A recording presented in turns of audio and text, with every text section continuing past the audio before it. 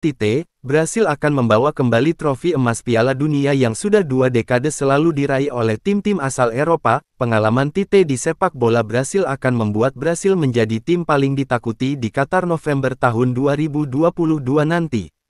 Lama berkecimpung di Liga Brasil membuat pemahaman Tite terhadap filosofi bermain Jogo Bonito khas Brasil tak perlu diragukan.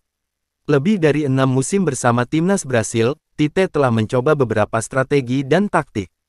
Ada beberapa strategi yang menjadi andalan Tite bersama timnas Brasil sejauh ini. Formasi 4-2-3-1 menjadi salah satu favorit Tite di beberapa laga terakhir Brasil. Kemenangan 5-1 atas Tunisia pada laga persahabatan September tahun 2022 lalu menjadi kali terakhir kali Tite menggunakan formasi ini. Sebelum menggunakan formasi tersebut, Tite cukup maniak dengan formasi 4-3-3 menyerang. Wajar saja, Tite sudah pasti memanfaatkan Brasil yang diperkuat banyak pemain sayap kelas dunia dengan formasi ini. Tite juga beberapa kali menggunakan formasi 4-4-2 dengan skema double pivot. Penggunaan formasi ini tentu saja ketika melawan tim-tim dengan kapasitas menyerang yang kuat dan cepat. Selain itu, keberadaan gelandang-gelandang bertahan Premier League seperti Casemiro, Fabinho, Fred, dan Bruno Guimaraes menjadi alasan. Keberadaan mereka tentu menjadi kelebihan timnas Brasil yang patut dimanfaatkan Tite.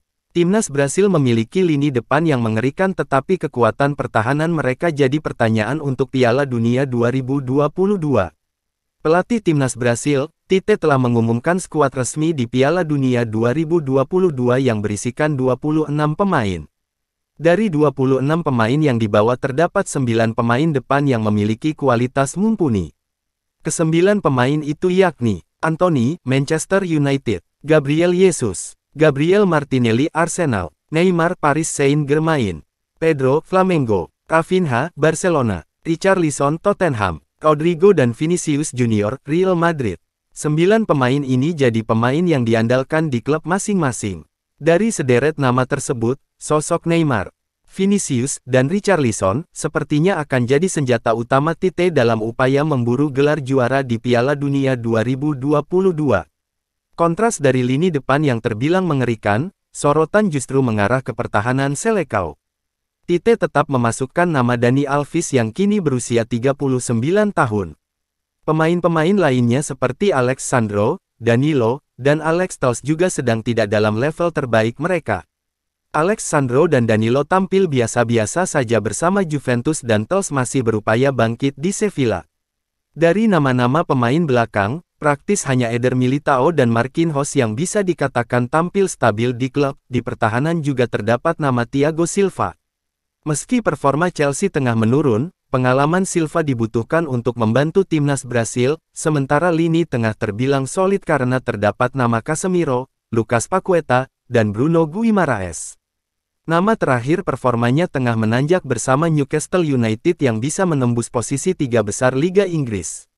Neymar jadi salah satu andalan timnas Brasil di lini depan. Timnas Brasil memiliki lini depan yang mengerikan tetapi kekuatan pertahanan mereka jadi pertanyaan untuk Piala Dunia 2022. 12 dari 26 pemain Brasil untuk Piala Dunia 2022 kini bermain di Premier League.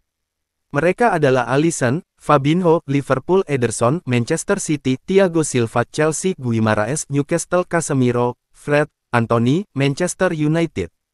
Selain itu, ada juga nama Gabriel Jesus, Gabriel Martinelli Arsenal, Lucas Paqueta, West Ham, dan Richarlison Tottenham. Tite juga turut memasukkan Weverton Palmeiras, Everton Ribeiro dan Pedro Flamengo dalam skuadnya dari mereka yang bermain di Brasil. Alexandro, Danilo dan Gleison Bremer, Juventus berada di Italia. Daftar pemain timnas Brasil di Piala Dunia 2022. Penjaga gawang, Alisson, Liverpool, Ederson, Manchester City, Weverton, Palmeiras. Penain belakang, Alexandro, Juventus, Alex Tels, Sevilla, Dani Alves, Pumas, Danilo, Juventus, Bremer, Juventus, Eder Militao, Real Madrid, Marquinhos, Paris Saint-Germain, Thiago Silva, Chelsea, Pemain tengah, Bruno Guimaraes Newcastle, Casemiro, Manchester United, Everton Ribeiro, Flamengo, Fabinho, Liverpool, Fred Manchester United, Lucas Paqueta, West Ham United. Pemain depan, Anthony, Manchester United, Gabriel Jesus Arsenal, Gabriel Martinelli Arsenal, Neymar Junior Paris Saint-Germain, Pedro Flamengo, Rafinha Barcelona, Richarlison Tottenham, Rodrigo Real Madrid, Vinicius Junior Real Madrid,